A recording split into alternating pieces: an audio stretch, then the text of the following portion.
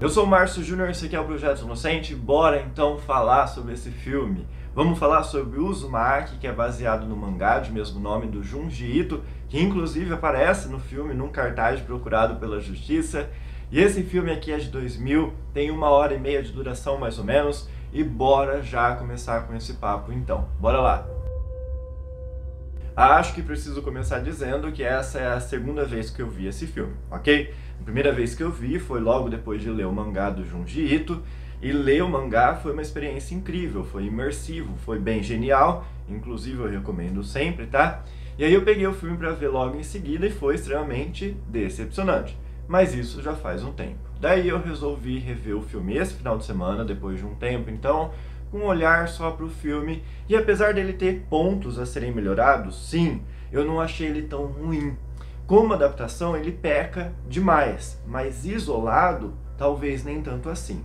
Na verdade, você consegue perceber que ele tem efeitos estranhos, uma filmagem extremamente experimental, uma direção bem peculiar, mas tudo isso parece se integrar com a proposta do filme de ser mais fantasia do que realista. Eu, real, sinto muita falta de filmes assim atualmente, que não querem transformar o bizarro em natural a todo custo, porque o bizarro é bizarro e ele é antinatural. Então, eu não diria que o filme envelheceu mal. Toda a estética dele, toda a proposta vem do pressuposto de mostrar algo que não encontra nem base na realidade é algo que nem precisa parecer verossímil. Por quê? Porque é uma quebra completa do comum, ok?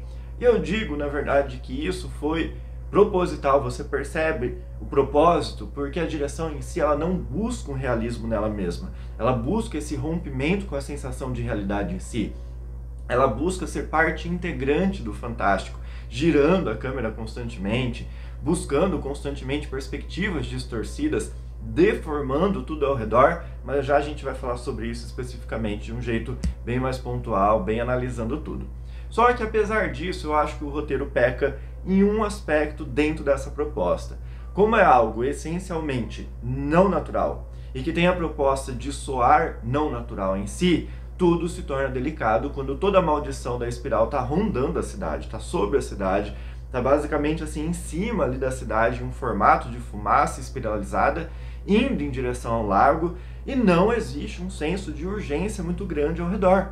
Grande parte da intenção da direção é construir um terror atmosférico. Beleza, já deu para entender em que tudo fica urgente, mas tem as pessoas ficando presas na maldição, pessoas ficando deformadas, mas existe uma falsa calmaria ao redor, o que gera então um descompasso, então uma apreensão no espectador. É, isso eu entendo, isso eu gosto, inclusive. Eu gosto muito dessa construção de calmaria inquietante que alguns filmes de terror conseguem passar, como se a gente quisesse pegar os personagens e falar assim, oh, presta atenção, tá tudo caindo, cara. Corre, não tá vendo que tá tudo sendo ferrado com essa maldição? Por que você tá calmo? Entende? Meu BO não é esse. Meu problema é que o roteiro ele quebra essa calmaria em alguns momentos pontuais só com quem está presente em determinados atos. A fumaça está espiralizando ali na cidade inteira e só as pessoas do funeral estão desesperadas. Mas quando a gente vê a cidade logo em seguida, tudo parece calmo não tem mais ninguém desesperado, porque parece que ninguém mais ficou sabendo de uma coisa que está no céu. O que faltou no roteiro foi justamente expandir o conhecimento desse problema. Não precisava nem de muito, tá? Uma cenazinha assim pequenininha com aquele policial que grita algumas vezes, ele poderia receber algumas queixas por telefone, algumas pessoas tá ali falando que tá rolando coisas estranhas para ele, já bastava. Nem precisava de muito, só isso já bastava. Mas, como não rolou, parecia que essa maldição não era da cidade em si. Parecia que era do núcleo de personagens que a gente estava acompanhando. E isso não é o propósito do filme. Compreendo sim que a maldição tem como propósito te colocar dentro dessa espiral. Você interioriza a espiral de modo que não vai perceber a própria maldição que está em você certo? Tornando você mesmo indiferente a ela. E mais do que isso, querendo fazer que outras pessoas interiorizem isso também. Isso justifica, inclusive, esse senso de calmaria inquietante que eu falei antes, né, agora há pouco. Mas se existem personagens que estavam cientes, não tinham sido amaldiçoados e estavam desesperados, outros também poderiam estar nessa mesma vibe. É como se o filme impregnasse, é esse o ponto, a nossa perspectiva com a distorção que vai rolar naquela cidadezinha que a gente vê. Muitas vezes o ângulo da câmera, ou então o modo como a imagem vai ser usada dentro da edição, né, é que acaba distorcendo todo o contexto, como se a nossa perspectiva subjetiva como espectador tivesse já impregnado com essa maldição que está rondando. A câmera, primeiro, ela fica muito estática, bastante estática, deixando essa garotinha vir e ir dentro do enquadramento, com uma espécie até mesmo de indiferença. Quando aquele garoto assusta ela, a imagem dele gira, mas não de um jeito fluido, é muito demarcado, né? Justamente para demarcar um rompimento do fluido do comum. Muitas vezes a câmera posta em close-ups bem fechados que devido a essa proximidade da lente acaba deformando justamente a perspectiva. Ou então existe sim um efeito de deformação que vem justamente para se unir ao efeito da perspectiva da câmera, que é o que rola quando os olhos do pai do garoto giram e acabam ficando maiores também devido à perspectiva, mas com efeito também. Então, grande parte dos efeitos a gente pode dizer está mais na técnica do que na artificialidade, ou então a gente pode transmitir isso que maior parte da maldição está mais impregnada nesse lugar e no modo como a gente enxerga as coisas do que na verdade vem de um senso externo. A distorção ela pertence àquele lugar justamente como a gente descobre que de fato esse lugar ele foi basicamente construído em cima e ao redor de um ritual que amaldiçoa essa pequena cidade. Em alguns momentos, inclusive, vou chamar a atenção, a decupagem cobre uma cena mostrando a mesma ação de ângulos diferentes.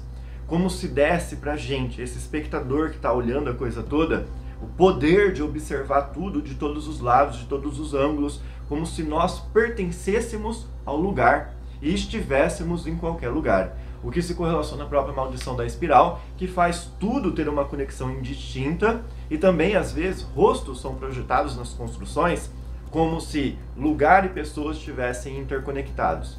Inclusive, a cidade, o aspecto da cidade, transmite uma sensação de ser muito pequena. Sempre que eu vejo esse filme, a segunda vez, a cidade me parece uma maquete.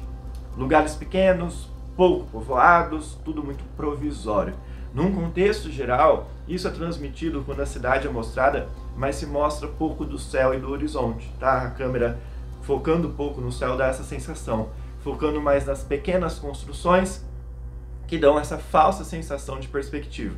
É uma técnica muito bem utilizada, inclusive. É muito difícil usar essa técnica que brinca com um contexto e também causa uma sensação de aprisionamento, porque é como se aquele espaço fosse um labirinto de construções que são inescapáveis. A questão das espirais também vem com um símbolo. A espiral ela tem a capacidade de ir te pondo no centro, espiralando e distorcendo o contexto para te fazer o foco da coisa toda. O que justifica então o uso de close-ups fechados e a distorção dessa perspectiva apresentada pela proximidade da câmera, correto? Mas também vem para justificar a espiral quando aquela garota da escola ela quer toda aquela atenção de todo mundo e aí por fim o cabelo dela fica espiralizado então, ela está no centro da atenção, mas de um jeito distorcido. A espiral também é um símbolo de uma espécie de armadilha.